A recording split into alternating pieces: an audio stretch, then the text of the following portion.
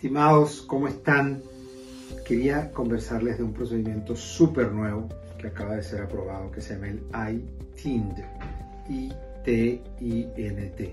Es fabricado por la empresa Olympus y el concepto, como van en el diagrama, es que uno introduce como una especie de, de, de stent, pero no es un stent, es una guía con un alambre que se abre en, en el área de la celda prostática.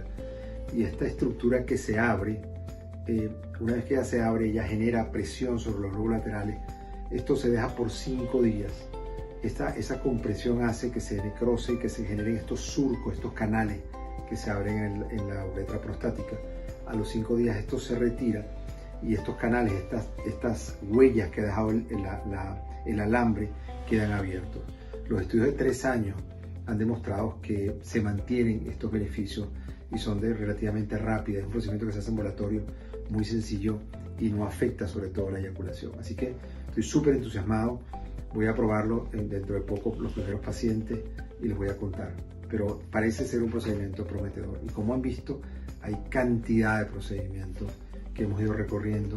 Y bueno, básicamente es que podemos explorar y decidir qué alternativa tenemos, ya sea eh, con Aquablation, con Urolift, con el nuevo procedimiento, con robótica cuando falla el tratamiento médico, cuando los contratos son grandes, tenemos que tener toda esta posibilidad de herramientas para resolver el problema.